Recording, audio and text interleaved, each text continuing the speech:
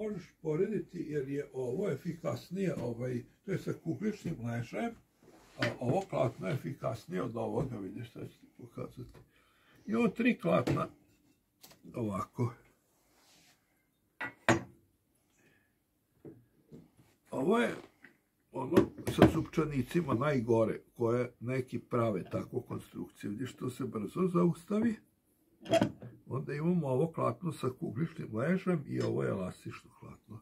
Sad ću da ovo najduže traje, ovaj elastično je najbolje se pokazalo. Sad će vremen da se zaustavi. A ovo odmah stane. To, to radi antitalenti. Što ima više rotacije s tim gore. A zupčanice su rotacije. E vidiš što. Viš kako ovo sa kugličnim ležem je već stalo ovo ide dalje gotovo bez ikakve promjene. Radi se o ogromnoj razlici.